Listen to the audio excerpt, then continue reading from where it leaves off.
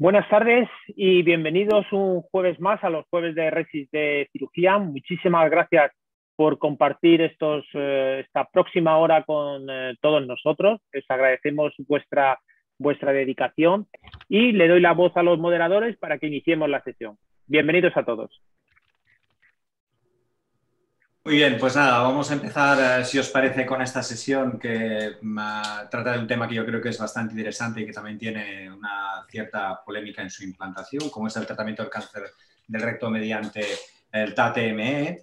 Y sin más, voy a intentar, voy a presentaros un poco a la gente que va a participar y, ah, como siempre empezaremos por los uh, RESIS, que para esto se llama Resistir, y ah, la principal ponente será la Lorena Sanchón, que es una, la R5 de la Fundación Altaya. Y, uh, y después uh, nos ayudará como moderadora también uh, la Marta Calvo, que es del Hospital de Galdácano, en Vizcaya. hoy tenemos un invitado que yo quería presentar con un cariño y además agradecerle el haber aceptado participar porque está un poquito más lejos de lo habitual, que nuestro experto es el doctor Caicedo Marulanda, que nos conecta desde Ontario, en Canadá y él es una persona, un referente en, eh, en toda la cirugía colorectal y concretamente es el, yo creo, el líder un poco en Canadá ¿no? de toda la introducción de esta técnica y yo creo que nos va a ayudar a, a orientar bien este tema y a, y a, tener, y a liberar ciertas dudas. También contamos con representante del coloprocto de la AEC, con el doctor Gonzalo Martín, bienvenido, que también de alguna manera nos, uh, nos dará sus, uh, sus indicaciones y también su manera de, de ver este, este tratamiento y un servidor que soy el doctor Collera y que yo soy de modelo y que soy el cirujano de servicio también de aquí de la Fundación Altaya. Pues sin más empezamos, si os parece, con la presentación. Uh, Lorena. Muy bien. Bueno, buenas tardes. Yo soy Lorena Sanchón, soy residente, como ha comentado el doctor Collera, soy la residente de quinto año del Hospital de Altaya Primero de todo, quería agradecer al doctor Caicedo su ayuda y colaboración para realizar esta, esta sesión. También a la EC por brindarnos este, este espacio y sobre todo a, mi hospital, Fundación Altaya. Eh, estamos, los residentes de nuestro hospital estamos muy orgullosos de haber formado parte de esto desde el principio, cuando éramos poquitos residentes, no solo nosotros, sino un hospital más. Y ver que esto va creciendo, pues gracias a la implicación de nuestros tutores, del doctor Gómez, de la doctora Farrey y de nuestro jefe, pues eh, estamos viendo que esto va para adelante, estamos muy orgullosos. Primero de todo, me gustaría si pudiese lanzar eh, la pregunta de si se realizan en sus centros el TADME para ver un poco en qué situación eh, nos encontramos con los oyentes de hoy. Comparto los resultados. Vale, más o menos está dividido a la mitad. La mitad no, no realizan el TADME porque no tienen los medios, aunque, aunque no dicen que no está indicado. Y la mitad que, que sí que lo realizan. Pues vamos a, ver un poquito más sobre esta técnica. este es el índice que vamos a seguir, está dividido en tres bloques. Primero de todo vamos a hablar un poquito en general de la neoplasia de recto, luego centrándonos más en el TANDO y por último de los resultados. La intención de esta sesión, como empezó el, jueves de RESIS, es que sea para todos los residentes. Entonces será una sesión que espero que entiendan los R1 y que pueda ser útil para los R5 y pueda ser del agrado de todos. Para empezar con la anatomía del, recto, el recto es la parte distal del aparato digestivo y está localizado en, la pelvis. El recto pélvico mide unos 12 centímetros y el canal anal mide unos 3 centímetros y, contiene los esfínteres. Sus relaciones anatómicas son muy importantes, sobre todo eh, durante la cirugía para evitar lesiones. En la cara posterior se relaciona con el sacro, con las raíces nerviosas S2, S3, S4 y con los nervios hipogástricos simpáticos en las caras laterales con las arterias eh, rectales medias y en la cara anterior en los hombres con la vejiga, vesículas seminales y próstata y en las mujeres con la, vagina y con la cara posterior del círvix. La separación entre el recto y, la esfera urogenital es la fascia de Lombiliasis. Está vascularizado por la arteria rectal superior, que es la rama mesentérica superior, y en la parte del conducto anal por la arteria ambulonial superior. Y es muy importante en la anatomía del recto tener en cuenta el mesorrecto, que es el tejido linfograso que rodea al recto en su parte posterior y lateral y por la que discurre la vascularización tanto sanguínea como linfática. Viendo un poco en general la neoplasia colorectal, vemos que es la tercera causa de cáncer en España, después del cáncer de mama y del cáncer de próstata. Tuvo una incidencia de 35,8 casos cada 100.000 habitantes el año pasado y es la segunda causa de muerte por cáncer en el mundo. Si nos centramos solo en el recto, vemos que la incidencia en los hombres es de 14,7 casos cada 100.000 habitantes y un poco, eh, menos de la mitad en las mujeres. La clasificación de la neoplasia de recto habitualmente se hace por resonancia magnética y se clasifica según la clasificación TNM, como, la mayoría de, neoplasias. T1 consideramos aquellos tumores que invaden la submucosa, T2 aquellos que sobrepasan la submucosa y invaden la muscular, T3 aquellos que sobrepasan la muscular y, invaden el tejido adyacente, y por último, los T4 son aquellos tumores que eh, sobrepasan la serosa y pueden invadir los órganos eh, cercanos. Consideramos N1 cuando el paciente tiene de 1 a 3 ganglios afectados por el tumor y N2 si tiene 4 o más ganglios. Y esta clasificación tenemos es muy importante para decidir el, tratamiento quirúrgico de nuestros pacientes, ya que los pacientes T1, T2 con, sin ganglios afectos irán directamente a cirugía. La diferenciación entre T1 y T2 con resonancia magnética es compleja, ya que la resonancia tiene poca sensibilidad para diferenciar entre T1 y T2 y en estos casos nos es muy útil la utilización de la endoscopia endanal. En los pacientes con T3, T4 o aquellos pacientes que tengan ganglios afectos, realizarán primero quimioradioterapia no adyuvante o pautas de radioterapia corta y posteriormente cirugía. Y luego ya, una vez analizada la pieza anatomopatológica, se decidirá si tiene que hacer también tratamiento adyuvante o no. Estas son las técnicas quirúrgicas en el cáncer de recto, de menos a más invasivas. La primera es la excisión local, que se puede realizar en pacientes con tumores in situ o T1 sin afectación ganglionar. Es preciso que tengan características histológicas favorables en la biopsia, es decir, que sean tumores bien diferenciados, sin invasión vascular ni invasión perineural. Y nos tenemos que asegurar poder, poder eh, aportar unos márgenes correctos realizando esta técnica, por lo tanto, mm, se intenta que sean tumores no demasiado eh, grandes. La siguiente técnica en complejidad, invasión sería la resección anterior de recto. Esta eh, es, una técnica preservadora de esfínteres que consiste en la resección total o parcial del recto, asegurando un margen distal desde el tumor hasta la resección de unos 2 centímetros y de 5 centímetros del mesorrecto. Eh, posteriormente, seguida de una anastomosis primaria que puede ser colorectal o coloanal. Y la siguiente en, sería la amputación abdominoperineal. Esta era clásicamente el tratamiento de elección en el cáncer de recto y ahora se utiliza básicamente en los pacientes con afectación de los esfínteres. Se puede hacer resección de todo el complejo esfinteriano con un cierre perianal o, de, una resección interesfinteriana. En la cirugía del recto, una parte muy importante es el mesorrecto del que hemos hablado antes, el tejido linfograso por el que discurre la vascularización linfática, y es por este tejido por el que se produce la diseminación del tumor. En el año 1986, el doctor Hell definió la técnica de la ascensión total del mesorrecto o la necesidad de, eh, resecar tanto el recto como el mesorrecto que lo envuelve, separando la capa visceral y la capa parietal de la fascia rectusacra, siguiendo una línea que él, nombró como Holy Plane, y que es una, zona avascular que permite que la resección eh, sea sin hemorragia y sin lesiones de los nervios autónomos. Realizando esta técnica pudo describir una disminución de la recidiva de un 12-40% descrito en series previas a un 3,7% a los 5 años realizando esta técnica y un aumento de la supervivencia hasta un 81,7%. Es decir, que eh, realicemos la técnica que realicemos en estos pacientes, es muy importante que en todos los casos hagamos una expresión total de mesorrecto. En estas imágenes pueden ver diferentes mesorrectos. A la derecha del todo eh, un mesorrecto completo con una superficie lisa, brillante, en el que se ve que no está destinada la capa visceral que la envuelve. En cambio, la del medio ya se ve un aspecto con, la fascia eh, lesionada, que probablemente es posible que hayan restos de mesorrecto en la pelvis que puedan condicionar el pronóstico de nuestro paciente. Y el de la izquierda es una extensión de mesorrecto incompleta, una pieza que hay zonas en las que ni siquiera hay mesorrecto y esta no sería una, una pieza correcta para un paciente operado en la neoplasia recto.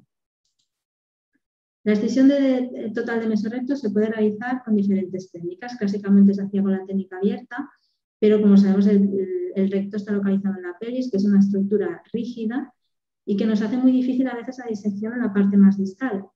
Y en los rectos medios o bajos, veces que poder visualizar bien que estamos yendo por el, lugar correcto, por, por el holy plane, y que estamos haciendo una resección correcta puede ser complejo. Con la aparición de la laparoscopia se empezó a realizar también la sesión total de mesorrecto por laparoscopia y nos encontramos con el mismo problema. El aparataje de la laparoscopia eh, es rígido y, hay veces que en, rectos medios o bajos y en pacientes con pelvis estrechas esto lo hace muy, hace muy compleja esta disección. Y también tenemos el, problema de que desde la parte abdominal no vemos dónde está el tumor dentro del recto. El, tumor está marcado habitualmente, pero nos podemos encontrar que la sección que hagamos eh, desde la parte abdominal esté o demasiado lejos del tumor y estamos dando un margen demasiado amplio y, resecando demasiado recto, o al revés, que nos estemos, estemos haciendo piezas con márgenes distales demasiado escasos y que esto podría condicionar a la larga tener que hacer una amputación perineal en estos pacientes. Con la aparición de, con la utilización de la vía transanal para, para la excisión local, eh, en el 2010, el doctor Silla y el doctor, el doctor Lazi describieron la utilización de la vía transanal para hacer la excisión total de, de mesorrecto, utilizando una vía combinada transanal y transabdominal laparoscópica para disecar eh, por una parte, por la parte transanal, eh, la parte baja del recto y media y por la parte laparoscópica la parte alta. De esta manera aseguraban un, margen distal y hacían una disección eh, simultánea. Esto fue descrito en 2010. Y otra, otra posibilidad es realizar la extensión total de mesorrecto por robot. Como sabemos, el robot nos aporta más maniobrabilidad que la laparoscopia, pero eh, con el problema añadido de que el, robot es una técnica cara y que no está disponible en todos los centros.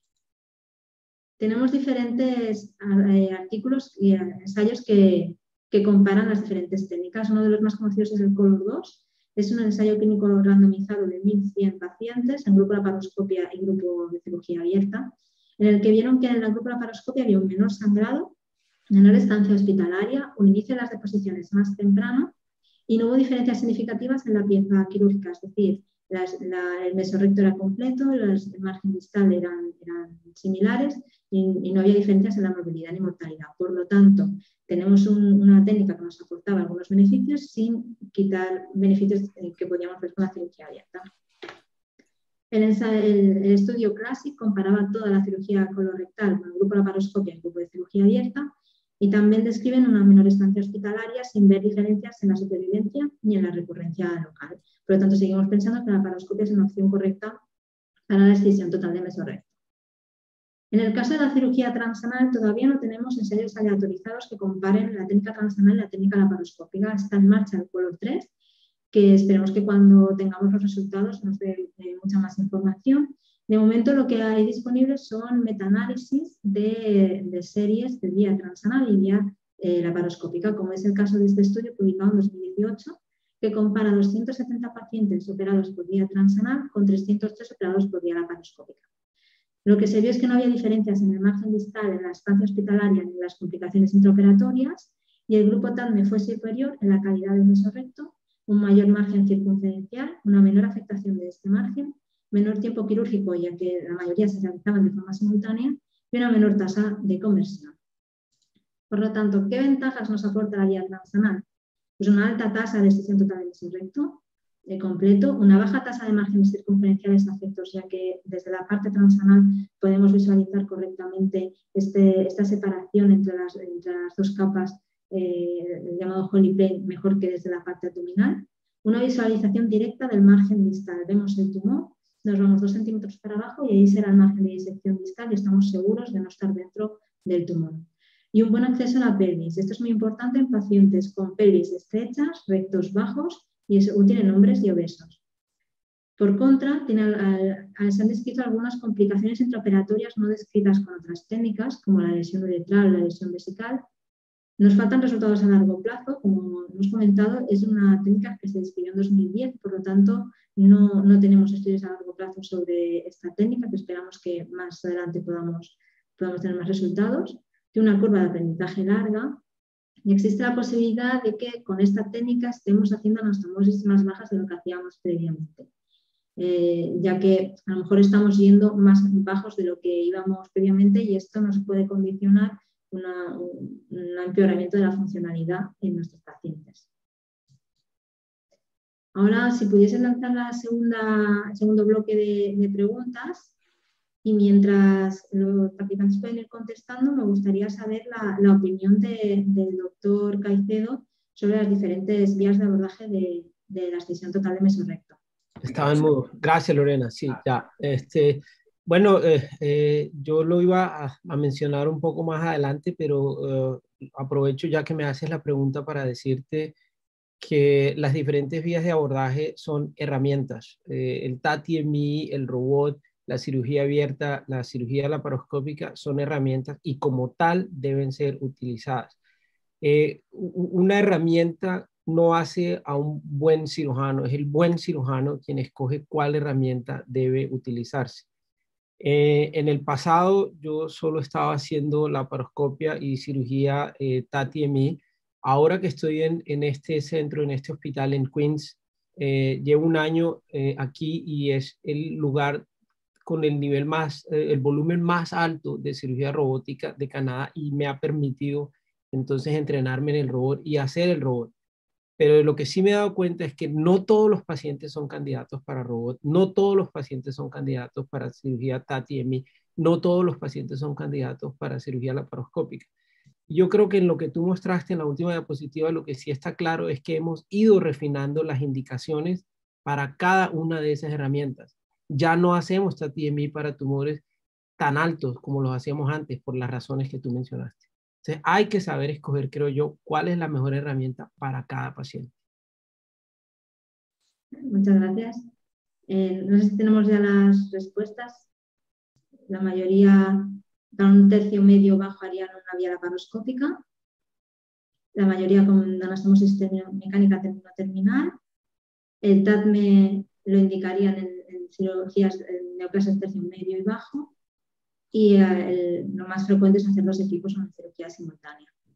Bueno, sigamos con, con, la cirugía ya centrándonos en la vía transanal. Me gustaría enseñarles un vídeo. Este es un vídeo realizado en, en, nuestro centro por el doctor Gabriel Díaz del Bobo, al que le agradecemos que nos haya cedido el vídeo para poderlo enseñar hoy. Esta es la disposición de los cirujanos en quirófano, los cirujanos transabdominales, la instrumentista transabdominal los cirujanos transanales y la instrumentista transanal, cada uno con su equipo de laparoscopia por separado para no, contaminar la vía abdominal con material que hayamos utilizado en la vía transanal.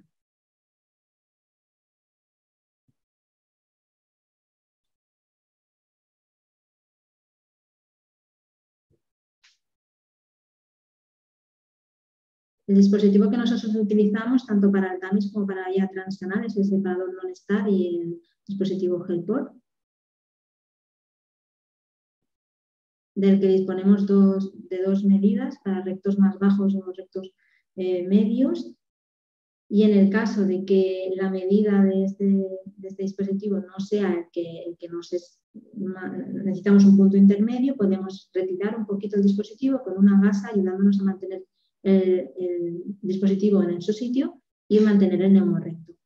Hasta hacer el esta es la colocación de los trocars. Eh, un trócar para la óptica en la parte superior. Nosotros utilizamos una óptica de 0 o 3D y dos trocas en la parte inferior para material de la manoscopia. Hasta hace relativamente poco no teníamos disposición de utilizar el AirSeal y entonces utilizábamos una largadera de, vía abierta para asegurar una salida continua del flujo de, de recto y colocábamos el neumorecto con un flujo, con el flujo al máximo. De esta manera el neumorecto entraba de forma continua y iba saliendo de forma controlada, asegurando que no se producían esas fluctuaciones que a veces se, pueden producir durante la vía transanal al no utilizar el, el que son tan molestas y pueden ser peligrosas durante la disección, ya que nos podrían condicionar a hacer alguna lesión. Y de esta manera manteníamos un flujo constante. Lo primero de todo es localizar el tumor. Nosotros colocamos esta gasa para asegurar que no, subiese más neumo hacia la parte del colon y realizamos una bolsa de, tabaco intentando asegurar un margen distal de aproximadamente unos 2 centímetros. Mientras hacemos la bolsa de tabaco, en la parte abdominal tienen cerrado el colon con una pinza para intentar que no le suba mucho el neumo y luego aspiramos este neumo para facilitar luego el trabajo de los compañeros en la parte transabdominal. Nosotros hacemos un lavado de, esta parte distal del recto antes de empezar la disección con yodo y suero.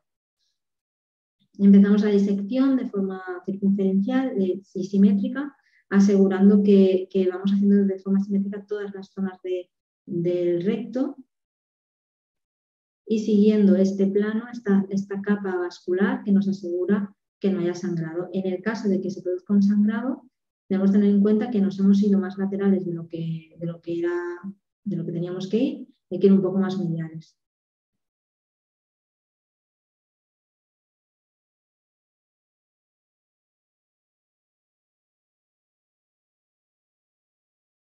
Esto es importante sobre todo en la parte, en la parte posterior, ya que es, más, es muy fácil entrar dentro de la fascia sacra y, producir un sangrado que nos dificultará mucho la cirugía.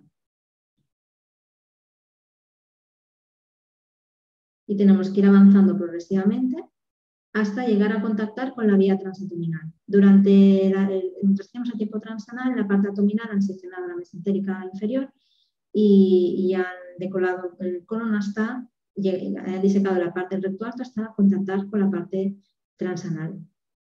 Es en esta parte que contactamos con la parte transanal en el que nos podemos ayudar los dos equipos de manera que lo que ven mejor desde la parte transanal completan la disección eh, desde la parte transanal y lo que se ve mejor de la parte transabdominal la completan de la parte transabdominal. Posteriormente hacemos una bolsa de tabaco para realizar la, la anastomosis. Habitualmente nosotros realizamos la anastomosis mecánica excepto en los casos de tener que realizar anastomosis ultra bajas o anastomosis coronal manual. Esta bolsa de tabaco no la cerramos completamente, ya que en nuestro centro no, normalmente no hacemos incisiones de asistencia para extraer la pieza, sino que la extraemos por vía transanal.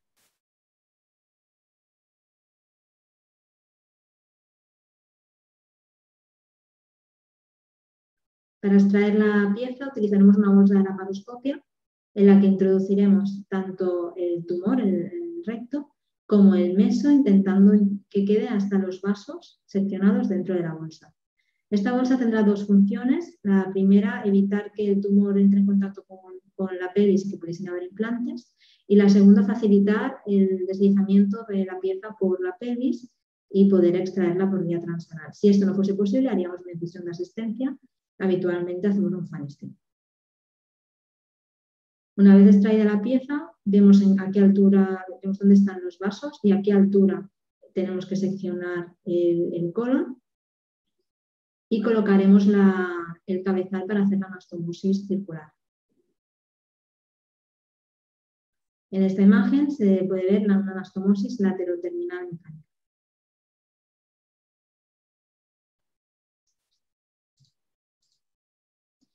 Entonces, si, esta técnica nos aporta mm, unos beneficios en la pieza quirúrgica eh, y no vemos que, tengamos peores resultados, ¿por qué esta técnica no es la que se está utilizando y por qué hablamos de, posibles controversias con la cirugía transanal? Bueno, como sabemos es una cirugía relativamente nueva y han habido algunos resultados que pueden ser un poco contradictorios y, que nos pueden hacer dudar sobre las indicaciones de, esta técnica, como es, por ejemplo, la moratoria eh, publicada en Noruega en 2018, en el, que, describen que dentro de 2015 a diciembre de 2017 en Noruega realizaron 110 TARME.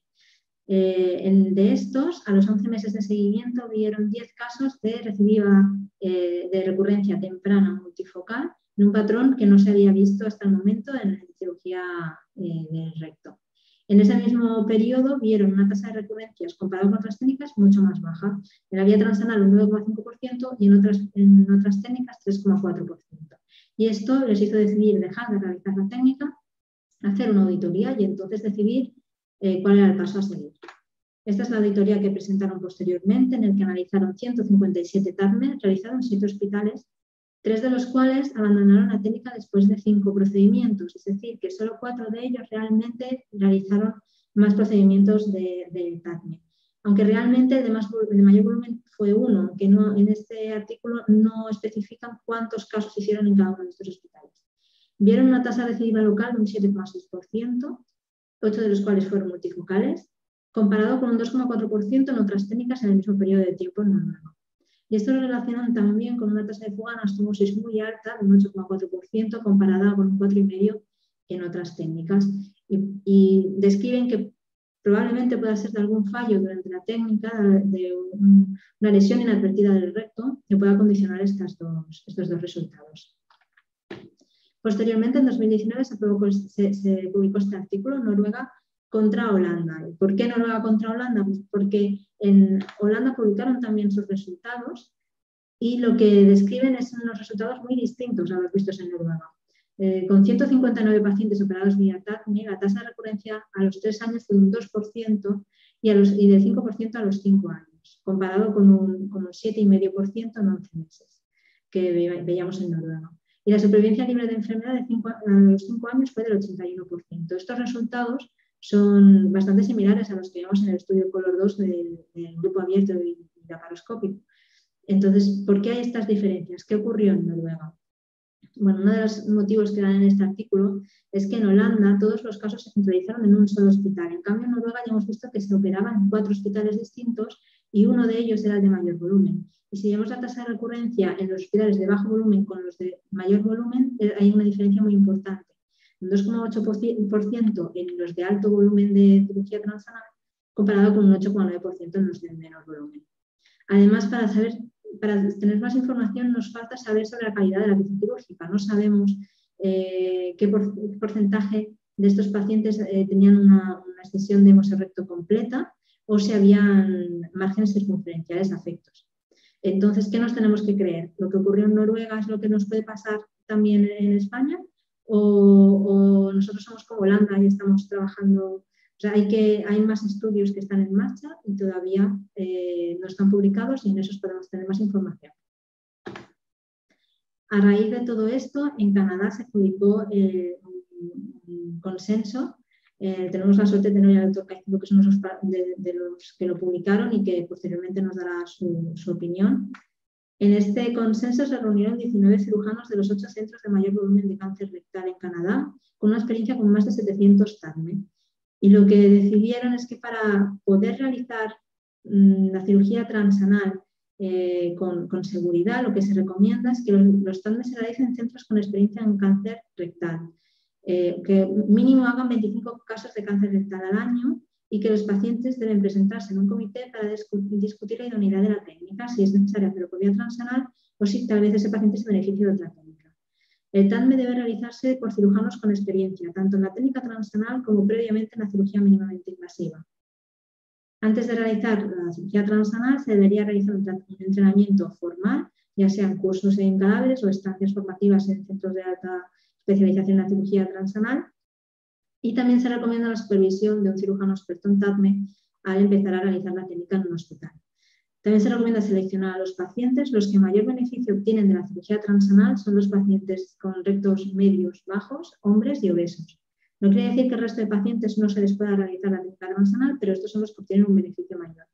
Y muy importante recoger los datos de los pacientes intervenidos vía TADME, ya que nos permite hacer tanto auditorías internas como ocurrió en Noruega, cómo participar en registros nacionales e internacionales para poder globalizar el conocimiento sobre esta técnica y, tener más información. En la línea de, tener, de, hacer auditorías y ver evaluar nuestros resultados, publicaron este estudio de cohortes de estos ocho hospitales con mayor volumen de cáncer rectal en Canadá, con 608 pacientes, en el que vieron una reciba local de un 3,6%, una supervivencia libre de enfermedad a los 36 meses de un 96%. Estos son resultados que se parecen más a los obtenidos en Holanda y a los vistos en otras técnicas. Entonces, si puede lanzar el segundo bloque de, preguntas. Y en este momento me gustaría saber, el doctor Caicedo, si nos podría explicar él su, estos, este consenso que realizaron en Canadá. Gracias, Lorena. Sí, eh, el consenso eh, lo eh, basamos básicamente en cuatro puntos que tenían en cuenta el cirujano, la institución, el paciente y el último punto era control de calidad. Tú mencionaste que decíamos que 25 cánceres, de recto al año. Un poquito para precisar, pensábamos que tiene que tener mínimo 25 uh, cánceres extraperitoneales que no es lo mismo que el volumen total. Es decir, 25 casos como mínimo que clasificaran para resección TATI-ME. Eh, basados en eso y basados en la evidencia que demuestra que el volumen está asociado a los resultados, dimos esas diferentes recomendaciones. Y fuimos muy claros también en la transparencia, es decir, decirle a los pacientes cuál es el nivel de evidencia que existe al respecto. En algunos sitios esto puede ser considerado todavía experimental o no, aunque creo que hay suficiente literatura en este momento para decir que es una técnica que tiene seguridad, pero hay que decirle a los pacientes las posibilidades de diferentes complicaciones, por ejemplo, las lesiones uretrales que nunca se ven eh, con resecciones anteriores bajas por vía laparoscópica o por vía abierta o por vía robótica. Y si me permites un pequeño comentario acerca de la, de la controversia entre Holanda y, y, Noruega. Yo, pienso que los noruegos definitivamente son muy buenos cirujanos y el registro histórico que muestra una recurrencia local de 3.4%, pero cuando uno analiza los datos de sus 157 pacientes, hay muchísimas preguntas que vienen a la luz. Por ejemplo, los cuatro hospitales que más hacían volumen tenían un total de 57 pacientes, es decir, tenían un volumen bajísimo de resecciones TATI-MI. Segundo, eh, ellos reportan un 13% de márgenes positivos o de resecciones R1 y reportan que hubo un 5% de márgenes circunferenciales positivos. Y aunque no está explícito, lo que te queda pensar es que hubo un 7%, si perdón, un 5%, un 7% de lesiones, un, 8% de márgenes distales positivos, porque 5% fueron circunferenciales, de 13 nos quedan un 8% que no hay explicación. Es decir, tuvieron un alto porcentaje de márgenes distales positivos, lo que indica que hubo un problema técnico. Además de eso, de, los, de, de 13 pacientes, solo uno o de 12 pacientes, solo uno recibió neoadyuvancia ah, de quimio y radioterapia con pacientes que tenían indicación para quimio radioterapia, es decir, estadios 3 o tumores 3 o más de, nivel 3. Entonces, hay, muchas preguntas eh, que, no quedan claras. A, mi modo de ver, el problema es técnico y hago la salvedad, eh, son muy buenos cirujanos. Cuando tú miras el registro histórico de ellos, 3.4% de recurrencia local, son resultados espectaculares. Muchas gracias.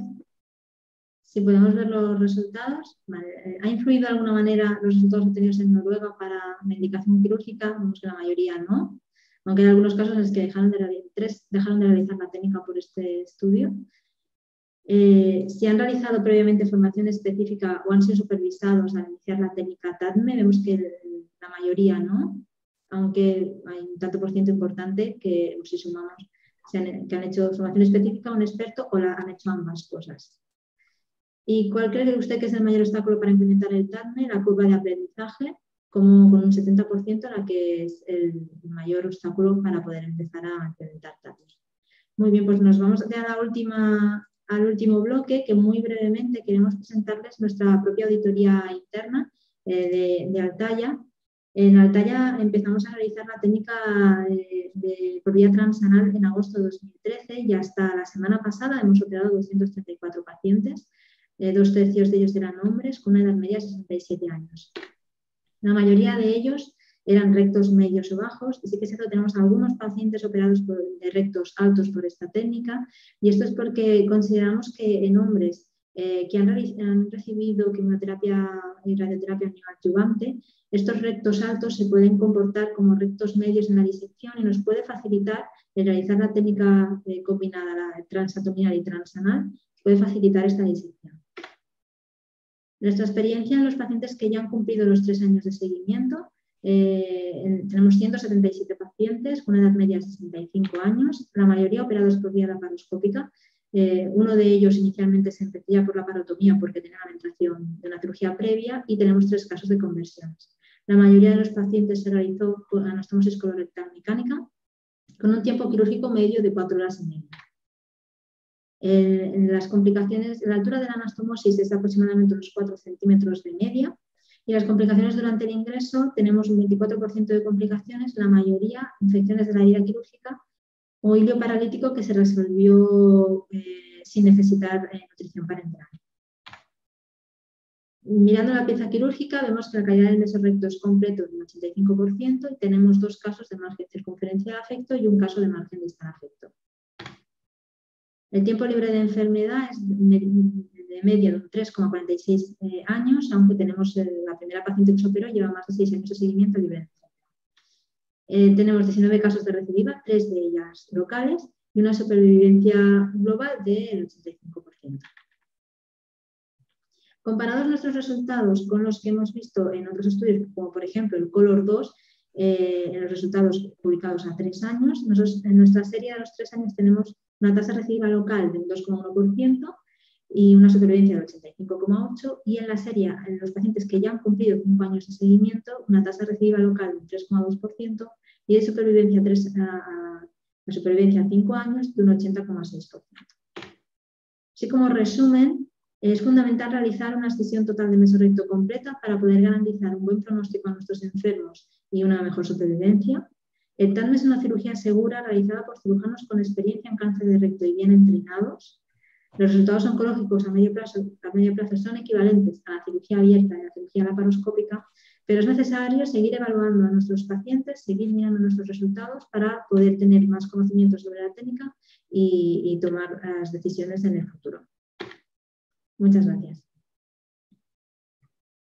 Muy bien, Lorena, la presentación. Y hacemos unas preguntas de filiación que son, hacemos siempre para ver quién, quién, es la gente que nos está escuchando, que os agradeceríamos enormemente para ir programando las próximas eh, reuniones de Resis Cirugía y ya que se están preparando para el año que viene. Perfecto, pues venga, Antonio, si nos querías hacer unos comentarios aparte de los que has ido haciendo durante la presentación. Sí, sí, muchas gracias. Eh, primero, pues quiero, eh, ya que no hubo la oportunidad antes, aprovechar para agradecerle la invitación y felicitar a Lorena. Creo que ha hecho una ah, muy buena presentación sobre el tema, muy concisa, pero muy clara.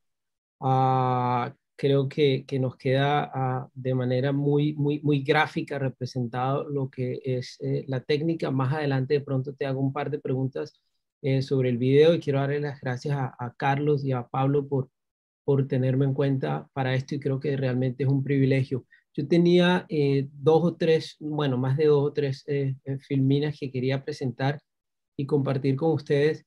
No quiero, no voy a hablar específicamente de nada técnico porque creo que ya Lorena ha hecho un excelente trabajo eh, al respecto, pero lo que les quería decir es, está muy claro para todos que eh, el cáncer de recto es supremamente complejo. Este es un algoritmo que lo único que muestra es como un algoritmo de cáncer temprano de recto. Y este es para un cáncer localmente avanzado. Hay que tomar muchísimas decisiones la época en la que el cirujano era el llanero solitario, era el cowboy y decidía todo, yo voy a hacer esto y voy a hacer esta cuestión y voy a hacer, y era el único que manejaba las cosas, ya, ya, ya, ya no está ahí. Ya lo que necesitamos es definitivamente un equipo, un equipo disciplinario y necesitamos, pues, esta una que me pareció delicada, sobre todo en un país como el de ustedes, que son los maestros del fútbol, pero saber cuál es el mejor, no sé cuál sea, las puse en un orden indiferente, esto es un ranking del año pasado que muestra, bueno, el mejor equipo supuestamente no está en España, pero no me meto en esta, en esta discusión porque puede ser un poco sensible, pero se necesita tener el mejor equipo para manejar el cáncer de recto, lo cual me lleva a mí a dar una opinión y que creo que va más y más y más hacia esto. El cáncer de recto debe ser manejado de forma centralizada, donde están el equipo, donde está la institución, donde están los recursos para tomar todas estas decisiones. ¿Qué pasa con el TATIMI? El TATIMI resulta siendo solamente eso, una herramienta. Si ustedes quieren medir algo, yo creo que ninguna de estas dos herramientas o cortar algo les va a servir. Pero si uno quiere cortar algo, pues una de estas tres y habrá que decidir cuál es la mejor dependiendo del material. Y como dicen aquí, un tonto con una herramienta sigue siendo un tonto. Uno puede ser el mejor o el peor cirujano del mundo y aunque tenga acceso al robot, eso no lo va a volver a uno el mejor cirujano, aunque uno, eh, si uno no se sabe los planos, si uno no sabe cuál es el plano mesorrectal, si uno no sabe identificar los diferentes eh, landmarks y saber eh, las indicaciones de cirugía. nosotros existimos y la razón de ser de lo que hacemos es por y para los pacientes.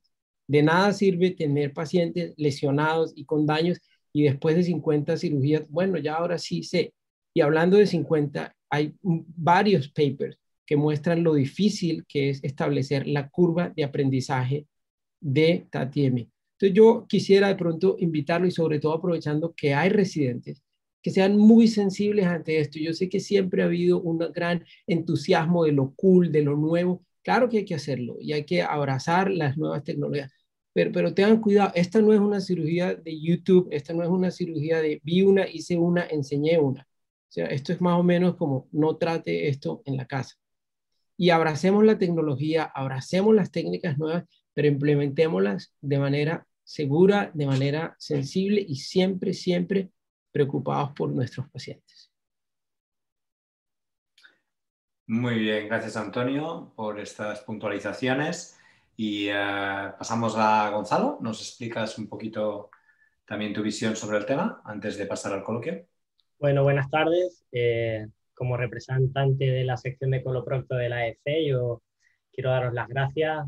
Pablo, Carlos, ya sabes, el reconocimiento que le tengo al trabajo que estás haciendo eh, dar la enhorabuena a la doctora Sanchón, porque me parece que ha hecho, como el doctor Caicedo, una exposición magnífica, muy centrada y muy interesante. Agradecer también al doctor Caicedo, por supuesto, que esté con nosotros desde Canadá, ni más ni menos. Apuntarle que el equipo que falta en la lista que ha puesto es el Cádiz Club de Fútbol, que es el, el mejor, por supuesto. Aparte de la sociedad, quieres decir. y, y, nada, brevemente, cuatro o cinco reflexiones ¿no? que, que, ya habéis marcado los dos excelentemente, la verdad. Pero bueno, son las que un poco durante la última semana he ido yo recogiendo. Yo creo que es de ley eh, hacer mención a que el, el primer TADME de Down Swap fue realizado en el año 2009, hace pues más de 10 años ya, ¿no? En, en, en España, en Barcelona concretamente, por el equipo del, del doctor Antonio Lazzi, es de, es de ley reconocer a los pioneros. Junto a la, doctora Pat Sila, eh, llegada desde, desde Nueva York, desde Monte Sinaí.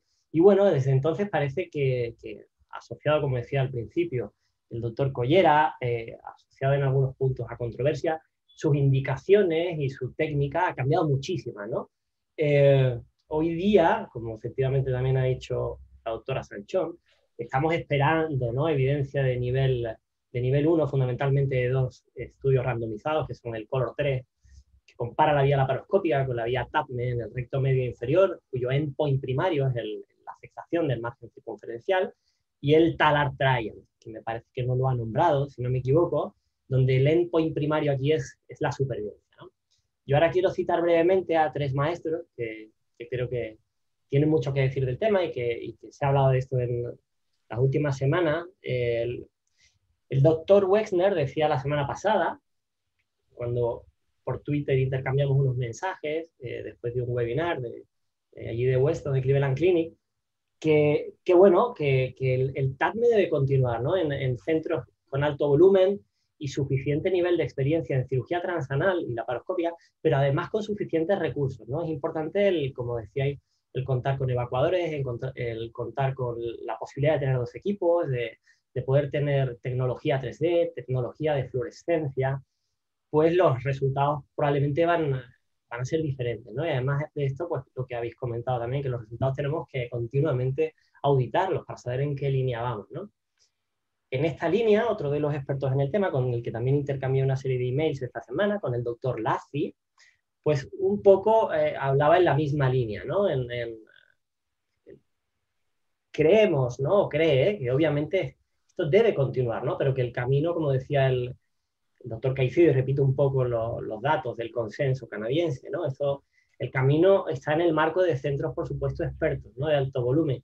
Y lo más importante, con un entrenamiento adecuado, y como decía Caicedo, que me ha gustado mucho, no es ver un vídeo en YouTube y, ejecutarlo inmediatamente, ¿no? Hace falta un, un, entrenamiento para, primero, no hacer más daño a los pacientes y luego que, que nuestro entrenamiento no sea frustrado, ¿no? Hacerle una dirección correcta, con un programa de proctoring durante la curva con indicaciones correctas y de nuevo auditando los, los resultados. Eh, y por último, yo querría añadir, un, citando a uno de mis maestros, eh, al doctor Roch, alguien que, yo respeto mucho en, la opinión en el cáncer de recto, en el año 2019, cuando hacíamos una campaña en Twitter de la ICP sobre el cáncer de recto, hizo una reflexión muy interesante que decía que, que, bueno, que lo realmente importante no es todo lo que sepamos o que podamos llegar a hacer con nuestra tecnología, con nuestras manos o con nuestras habilidades, sino lo que verdaderamente nuestro paciente necesita según sus necesidades y expectativas.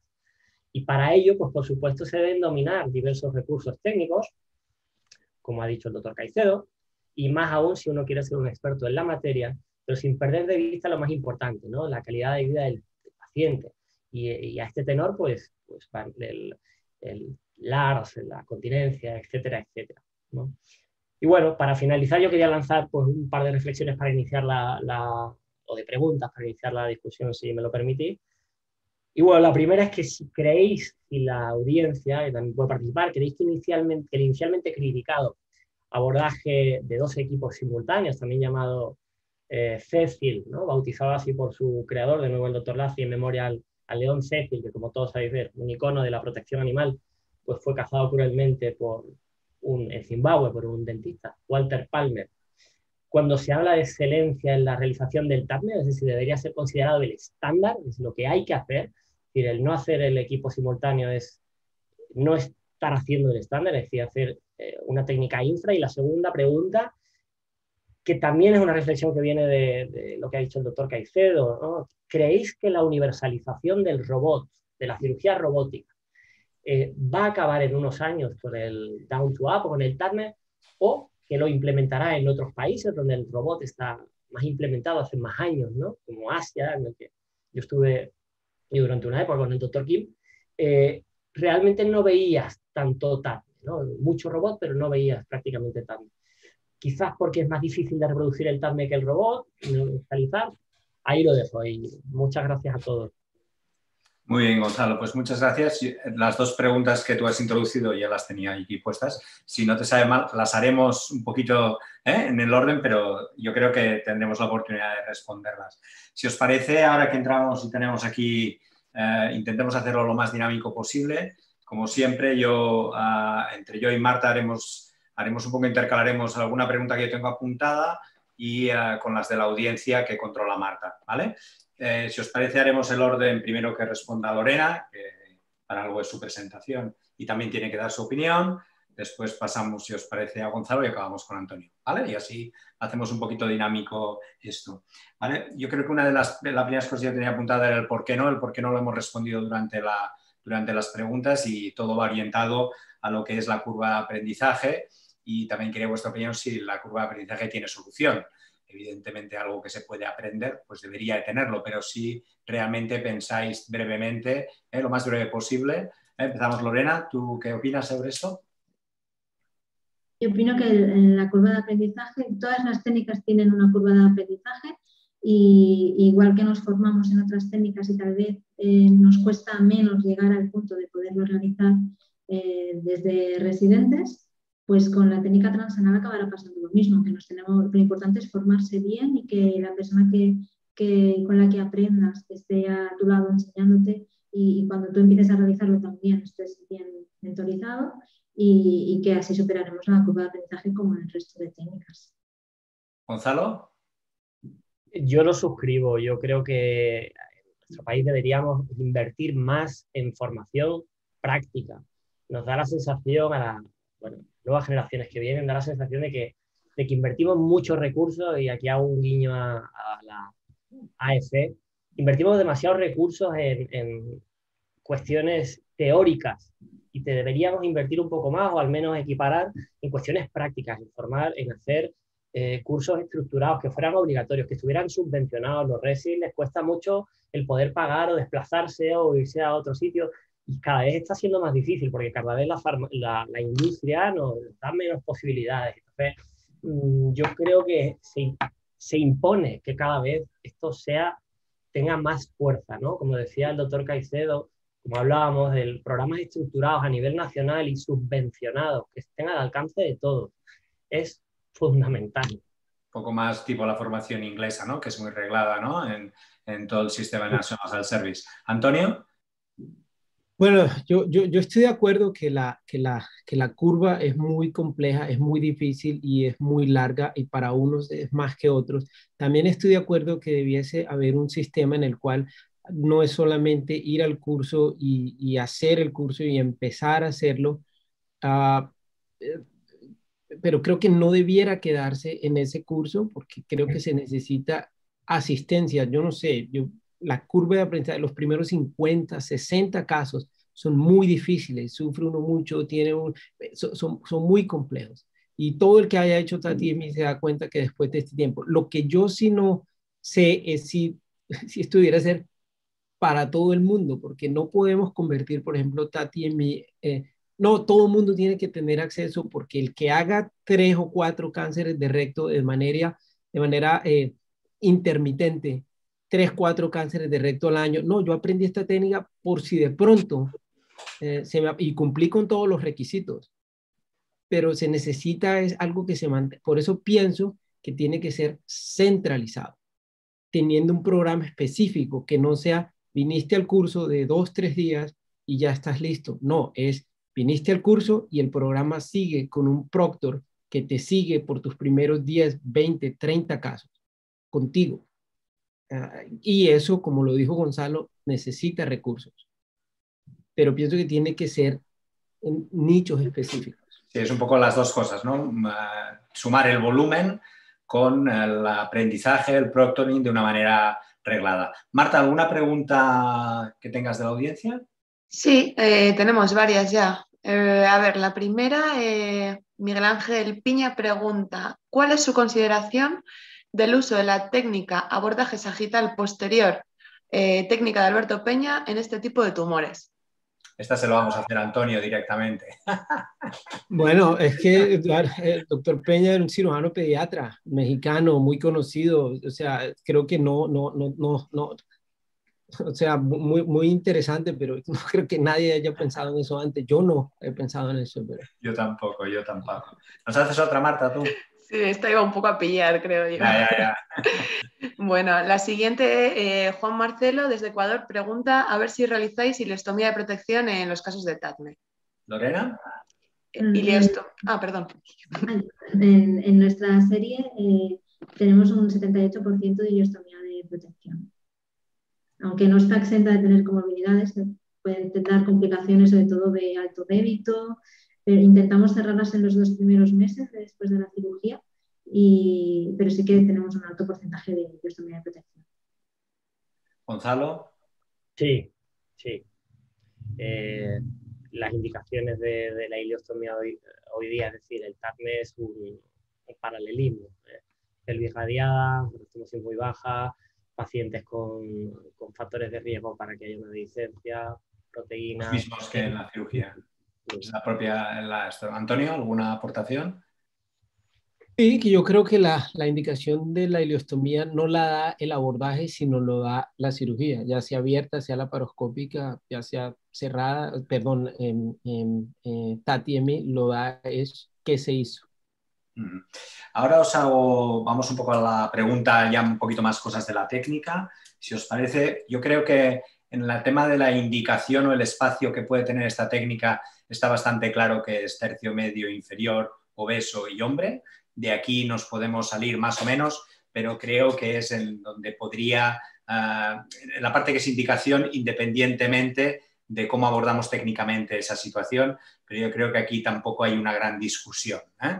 En el tercio alto, pues realmente eh, estamos discutiendo si Sandy irradiar, si no Sandy irradiar, pero aquí yo creo que normalmente no parece que tenga un espacio, excepto en situaciones muy concretas. Volvemos a lo que comentaba Gonzalo, uno o dos equipos.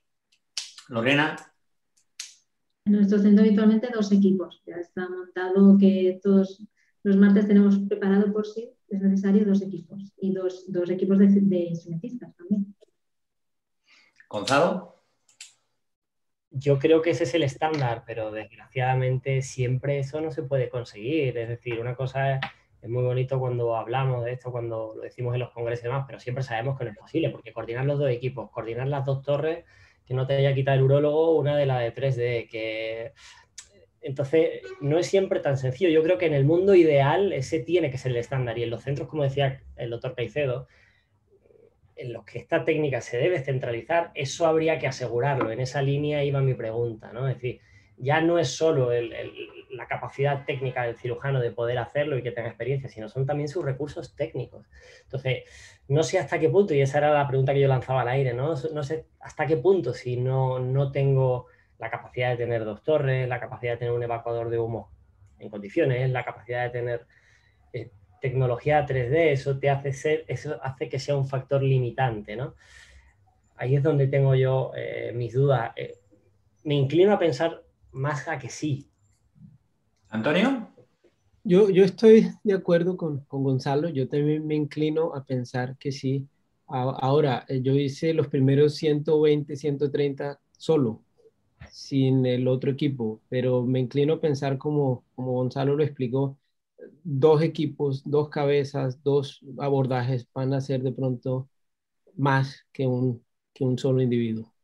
Ah, yo aquí me voy a permitir el lujo de matizar alguna cosa o decir algo, porque yo sí soy un creyente en el tema de los dobles equipos. Evidentemente las estructuras, las instituciones, todo cambia, pero yo creo que esto tiene que formar parte de esa formación, de ese proctoring, y aquí tiene que participar eh, enfermería, eh, todo el quirófano en sí, y yo creo que es un beneficio, es un beneficio porque seguramente esto acorta el tiempo y todos sabemos que esto es una cirugía larga y la parte más importante, que es cuando anastomosamos, es al final. Y eh, muchas veces, ¿no? Ese final es el final del cambio de enfermería, hablando de nuestra sanidad pública, sobre todo el mediodía. Yo creo que es, importante o esto puede ayudar a tratar mejor la patología en sí, como es el cáncer de recto. Ah, Marta, ¿alguna de la audiencia? Eh, sí, nos preguntan a ver si existe algún centro específico de entrenamiento en España para TADME o algún curso y dónde se podrían formar en, este procedimiento. Gonzalo, desde la AECP, ¿qué te parece? Bueno, me parece que los, los que más conocidos, ¿no? Hospital Clinic, Hospital de Valdecilla, también sé que en Madrid la conjunción de varios hospitales hacen también un curso interesante de formación. Básicamente esos son los, más, conocidos, ¿eh? aunque, bueno, por supuesto que hay más equipos en, el país con, alto volumen y con, con buenos resultados, ¿no? Pero estos son los, más frecuentes, quizás el Hospital Clinic por ser un poco los primeros, ¿no? Y, el resto porque, bueno, se ofertan varios cursos en la, en la EFE hasta donde yo, hasta donde yo sé. Yo, me... atrevo a, me atrevo a hacer un añadido. Es, hay, bueno, también hay la gente del Gregorio Marañón junto con la Concha. Tienen un, proyecto muy interesante que ya han repetido, me parece, no sé si el segundo o el tercer curso anual. Y luego hay un proyecto dentro de la AEC que, ha empezado hace poco que se llama, se denomina Red AEC, que es un proyecto colaborativo en donde la gente, los centros docentes se pueden ofertar y la gente puede ir en concreto a ver una cirugía determinada yo estoy hablando de, cualquier cosa de la cirugía general, pero uno de los apartados es la opción de poder eh, que un centro oferte, vamos a hacer un TADME el 25 eh, de junio y la gente se pueda apuntar a través de esa plataforma. Lo digo para que se animen, eh, es un proyecto de la Asociación Española de Cirujanos que se llama RES-AS. Sí, nosotros también en Manresa hemos hecho varias veces un poco con el mismo sistema y ah, también ayudamos, yo mañana voy a y a echarles una mano y bueno, yo creo que es a veces este, ¿no? relación tú a tú también puede ayudar a que la gente, ¿no? A transmitir un poco la experiencia. Antonio, en Canadá, ¿esto está estructurado de alguna manera o la formación? Sí, eh, teníamos un, un, curso que estaba centrado en Toronto, pero después de cuatro o cinco generaciones el curso se paró porque pues, Canadá realmente, aunque en extensión es muy grande, es un país relativamente pequeño, 35 millones de habitantes, 13 provincias, y, ya se estaba saliendo de control porque había mucha gente viniendo a los cursos con un volumen muy bajo, gente sin el entrenamiento adecuado, gente que solo lo quería hacer por, por tenerlo, por si de pronto.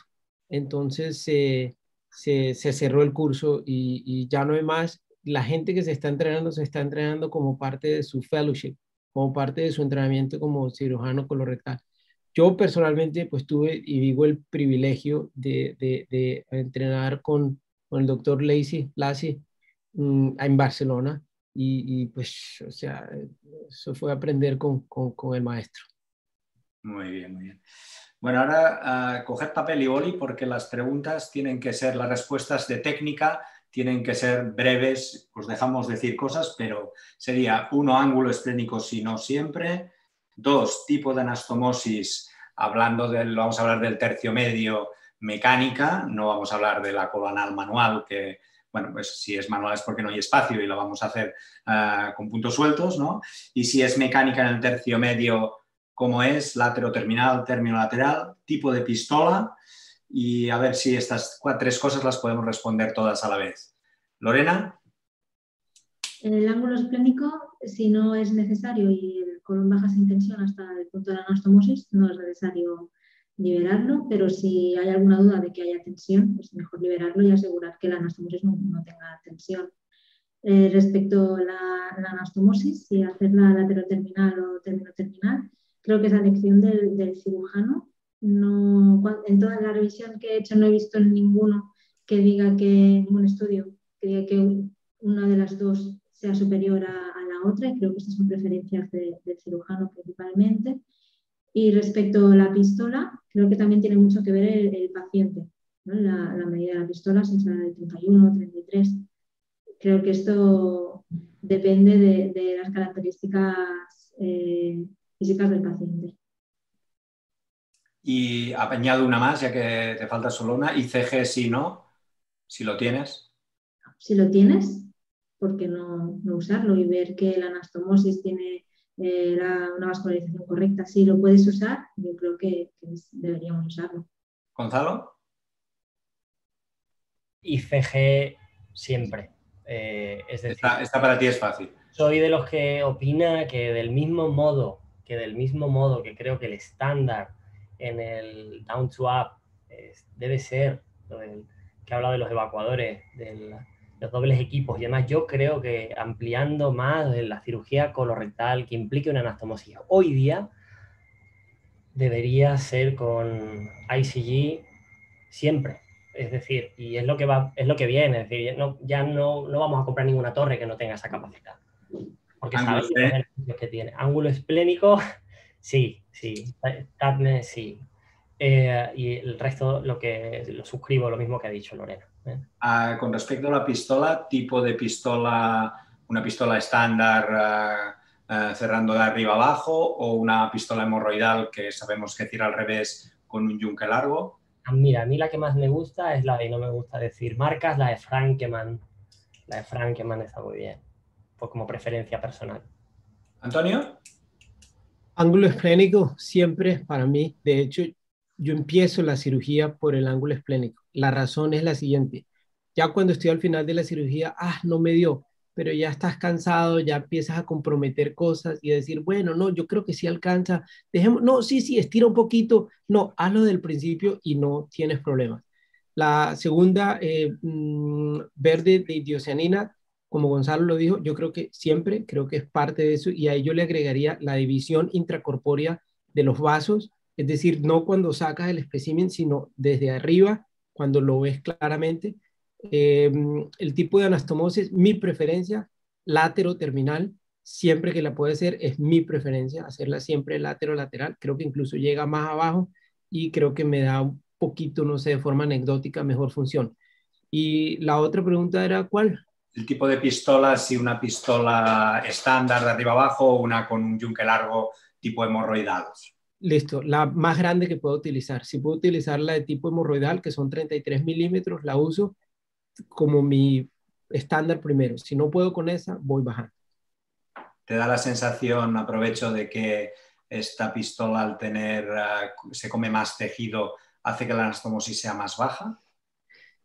Ah, puede ser, pero yo pienso que, que, que, tiene menos chance de hacer una, una, una una estructura, una, una, una, una, estenosis. Una estenosis. Creo que tiene menos chance de hacer una estenosis. y, por esa razón yo prefiero utilizarla mientras más grande, mejor. Perfecto. Ah, Marta, ¿alguna de la audiencia? Em, sí, a ver, pregunta Juan Carlos Pastor. Em, Dice, una de las características de la técnica es la creación de anastomosis más bajas. ¿Creéis que puede condicionar la aplicación de esta técnica consecuencias funcionales en estas anastomosis? Yo creo que, los resultados funcionales eh, es una de, las cosas que ahora tenemos que mirar en, la cirugía transanal. Eh, creo que tenemos que tener muy en cuenta no solo el tipo de, tumor, si es un recto bajo, si son hombres y obesos, sino también el paciente.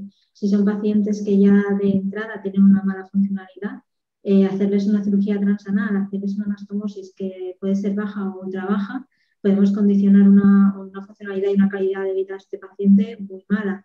Y esto es algo que les tenemos que informar y que a lo mejor informarles de que no, aunque nosotros queramos hacerles una, una anastomosis ultra baja porque podemos hacerla, a lo mejor lo mejor para ese paciente no es eso. Y, creo que sí que tenemos que es algo que tenemos que mirar en el, futuro. Totalmente de acuerdo con la doctora, eh, lo ha clavado. Yo creo que que es mejor una cirugía en según qué ocasiones, menos elitista, pero que ofrezca una calidad de vida superior a nuestros pacientes que una cirugía muy elitista que no le dé calidad de vida al paciente porque está mal seleccionado. Y no solo por las características del, tumor, ¿no? sino por las implicaciones en cuanto a la continencia fundamentalmente. Y sabemos que las anastomosis, cuanto más baja y cuanto eh, más deficiente es el aparato esfinteriano del paciente, la edad, radiación, etcétera, pues esos resultados van a ser peores, ¿no? Y son pacientes que van a tener un large score más alto, con un deterioro muy importante de su día a día. Todos, todos los pacientes que van por cirugía de recto van a presentar mayor o menor grado de LARS. Eso está claro, así le quite solamente el tercio superior, que la función va a cambiar de una u otra forma. Entonces, todo, todo lo que dijo Lorena, totalmente de acuerdo. Hay que tener claro es que siempre va a haber mayor o menor grado de LARS. Unos pacientes se van a adaptar mejor que otros, pero siempre va a haber algún grado de difusión. Muy bien. Ah, hago dos preguntas más que te las dirijo a ti, Antonio, para, de las que yo tenía aquí apuntados. Luego miramos si hay alguna más a la audiencia. Eh, la primera, eh, la extracción de la pieza transanal, ¿te parece una posibilidad a considerar constante, no? Bien, ¿qué te parece? Para mí es algo que es selectivo, selectivo en cuanto si la pelvis es muy angosta o el tumor o el mesorrecto es muy grande, muy bultoso, ni siquiera lo intento. Y la razón por la cual eso, por lo que lo hago así es porque cuando tú estás peleando con ese espécimen, ahí es cuando uno rompe los vasos eh, periféricos, la arteria marginal, ahí es cuando uno la rompe porque está peleando con eso. Si me sale muy fácil y creo que la hago tras si no, hago una incisión de fan steel sin pelea, sin problema y no hay lío. Y ah, la pregunta que hacía Gonzalo ah, antes comentaba, que yo creo que la persona más indicada por lo que has comentado eres tú para responderle. ¿no? Ahora que tú, ah, no sé si me equivoco, ¿no? hemos hecho TATM y ahora eh, nos hemos aficionado al robot, ¿eh? porque lo, tenemos, lo tienes donde estás. ¿Qué, combinación? ¿Es sustituto? Hay gente que opina y hace robot que dice que es necesaria esta técnica. El beneficio de seleccionar por vía inferior el margen, que es uno de los beneficios que podría tener esta técnica. ¿Te piensas que hay un espacio combinado para hacer una, ¿no? la parte, la sección distal y después el robot por arriba? Danos un poquito tu opinión, porque creo que es la persona que tiene experiencia de haberlo hecho de las dos maneras, ¿no? Yo no he hecho robot, con lo cual no puedo opinar, evidentemente. Sí, el, robot es, es, es, fantástico, es fenomenal. Yo creo que el robot va a seguir mejorando y va a seguir dándonos eh, muchas posibilidades de hacer cosas ah, muy interesantes, pero el robot aún no supera el principal problema, que es el control del margen distal, que TATI sí controla el margen distal. Ah, John Marks eh, publicó ahorita en DCR eh, un video de, con el SP, con el single port, haciendo TATI y, de pronto eso es lo que va a pasar. Aquí nosotros hemos hecho eh, robótica por arriba y robótica por abajo, o robot y el TATIEMI, pero se vuelve entonces, ¿cómo puedes hacer que la cirugía sea, cada vez más costosa? Ah, y ya cuando te metes en problemas con los administradores y con el hospital, porque hay, otras opciones. Eh, yo pienso que lo bueno es seleccionar eh, cada paciente para cada, para cada técnica. Yo tengo un poquito la presión de mis colegas que ellos todo lo hacen robótico porque pues, les gusta y están muy, muy, muy engomados con la cosa del robot. Yo los míos los, los parto, entonces estoy más mitad y mitad. Muy bien, muy bien. Uh, Marta, ¿alguna pregunta así última de la audiencia para pasar un poco ya, porque son y cuarto, y intentar ir cerrando la, la discusión? Vale, hay una aquí Eh, pregunta Nairo Senejoa. Eh, ¿Se puede hacer TADME abierto, es decir, sin plataforma ni neumorrecto bajo visión directa? Y si es así, ¿hasta dónde se podría progresar? Venga, Antonio, estás de invitado, te toca. Yo, yo, yo, yo creo que no, porque o sea, el canal anal está cerrado. Necesitas tener una plataforma, necesitas poner exposición. Si lo haces en una plataforma, estás haciendo una, una un intento de hacer algo transanal por vía convencional, uh, pudiera parecerse al Tata, y aún el Tata, eh, eh, Gerald Marx describió poner suturas y hacer algún tipo de resección, y es muy limitado lo que puedes hacer. Ah, ahora, si lo vas a hacer abierto, tienes que primero hacer la vía transanal y después abrir, porque si no tienes neumo, no hay espacio. O sea, creo que la respuesta corta es no. Muy bien, pues uh, yo creo que uh, más o menos ya estamos en tiempo. Yo creo que el nivel ha sido muy bueno, sobre todo agradecer tanto a Marta que nos ha dado la moderación como a Lorena en la presentación y, como no, tanto a Gonzalo como a tú y a Antonio, que debe estar una poquita diferencia ahora, pero no es mala hora, me parece ahí. Y, uh, y agradecerte mucho y uh, que hayas, uh, nos hayas ayudado en esta mesa y muchísimo gusto en poder en futuras colaboraciones contigo y, y, agradecerte mucho tu, tu, es, tu opinión de experto. Carlos, ¿querías, ¿querías decir alguna cosa, Antonio? Perdona. No, quería darle las gracias a ustedes. Eh, para mí es un absoluto privilegio y un placer y creo que la, la iniciativa de hacer esto para los residentes es fenomenal y debiese ser copiado por, por, por más centros. Por, o sea, darle una clase a todos los residentes de todo el país ah, es, e, e, es, es, para aplaudir. Te ayudamos a hacerlo en Canadá cuando quieras. Nosotros ya tenemos... vamos a hacerlo, vamos a hacerlo. Gonzalo, ahí Gonzalo, uh, Carlos. Hola, bueno, yo que me ha costado mantenerme callado y tenía muchas preguntas para haceros. Ya otro día con un café acabaremos de, de discutir del tema. Agradeceros a todos por estar hoy, hoy con nosotros, por haber uh, dispuesto mucho de vuestro tiempo para preparar la reunión, por estar ahora, como siempre, eh, con la mejor buena fe de, del mundo. Gracias. Os comparto una cosa está relacionada con lo que hemos hablado hoy. Os he pasado un link por el chat a todos los que estáis conectados. Y hoy, como a manera de primicia, por llamarle de alguna forma, os queremos pedir vuestro apoyo, no solamente con eh, la respuesta de esta encuesta, sino también con la difusión de la misma, que empezará casualmente a partir de hoy. Hemos desarrollado una encuesta sobre el uso de ostomías derivativas, que había varias preguntas en el chat sobre cuándo ileostomía, por qué ileostomía, y una serie de otras más relacionadas a técnicas alrededor de la cirugía del recto, pero no preguntando de lo que habitualmente hacemos, es centrándonos en el recto, sino todo lo que va alrededor. Eh, todo esto es el equipo que estamos trabajando en esta encuesta. Podéis pillar el código QR que está aquí uh, para responderla o el link que os he dejado en el chat. Empezaremos a hacer difusión, intentaremos que llegue a través de todas las uh, sociedades científicas a, a, todos los que hacemos cirugía colorectal.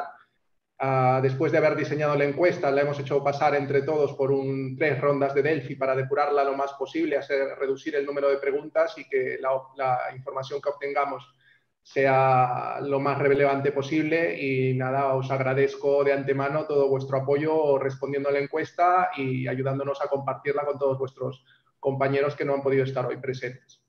Pues nada más. Eh, agradecer nuevamente a todos los que estáis al otro lado de la pantalla, los que habéis compartido esta hora y pico con, eh, con nosotros. Especialmente agradecer a la doctora Lorena Sanchón y al doctor Caicedo por su presencia. Y nada más, cerramos la sesión. Muchísimas gracias a todos por vuestra participación. Hasta luego. Hasta luego. Gracias. Gracias. Hasta luego. Para el próximo webinar, la encuesta de cuál es el mejor equipo de fútbol.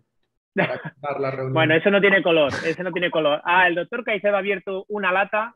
Em, este año ha ganado el Atlético de Madrid, con lo cual ya está, ya está todo dicho. Gracias. No está, no, no está en España, ese equipo no está en España. Hasta luego. Hasta luego. Adiós.